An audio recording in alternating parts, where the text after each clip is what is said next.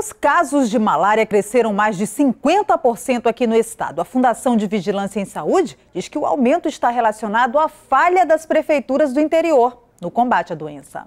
Reginaldo é de Silves, no interior do estado. Ele já teve malária duas vezes. Eu sentia febre, dor de cabeça às vezes, é, muita dor no corpo, os ossos não aguentavam nada, fraqueza, náusea, vômito, né, essas coisas. O Amazonas é um estado de clima tropical, propício para a reprodução do mosquito Anopheles, transmissor da doença. Este ambiente é ideal para a proliferação da malária. Aqui no Tarumã tem muito local assim, área de mata com várias moradias no entorno. É como se mosquito e pessoas estivessem vivendo debaixo do mesmo teto. O Amazonas registrou nos últimos dois anos um aumento de 50% da doença. Em 2016, foram quase 50 mil casos.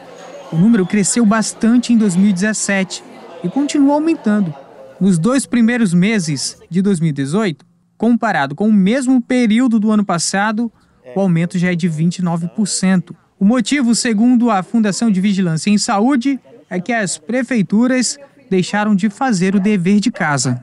Alguns municípios a gente observou essa dificuldade em relação às ações de controle, manter as ações de controle, até porque nós vimos uma, tendência, de redução. O Estado deve fazer uma ação com os prefeitos para reforçar o combate à doença.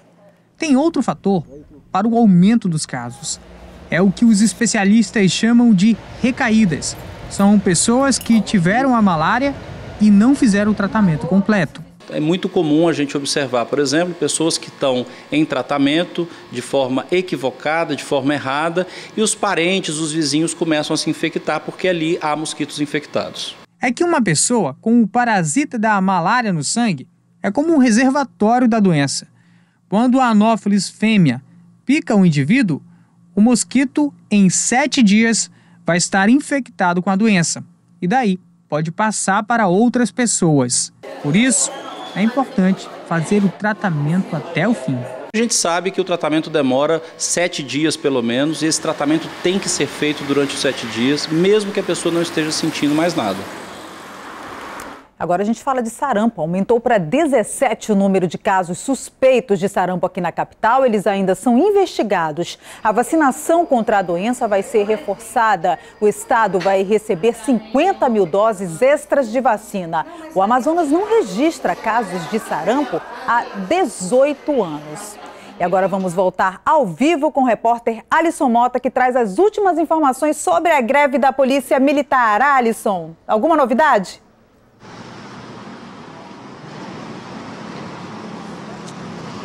Pois é, Mariana.